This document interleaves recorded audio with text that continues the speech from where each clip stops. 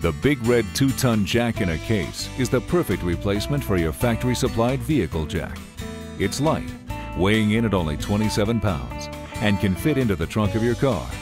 The rotating heavy-duty saddle keeps your vehicle stable while you work on changing that frustrating flat tire. This value price jack has been factory tested for reliability and has a built-in overload system to keep you safe while fixing your vehicle at the side of the road.